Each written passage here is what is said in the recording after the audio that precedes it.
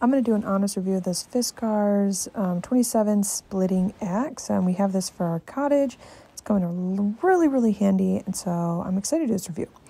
So the axe in of itself right here is the top of it. It's about seven inches um, in width right there, the, the head of the axe.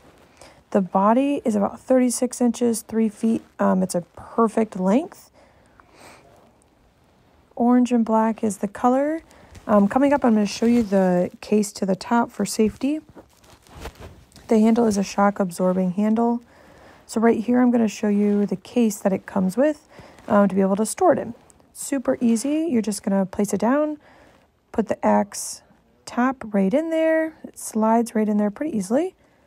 Lay it down, and then you just flip this little orange um, knob. And there you go. It's a good little carrying case. Um, you got to keep it not out and about, which is really nice.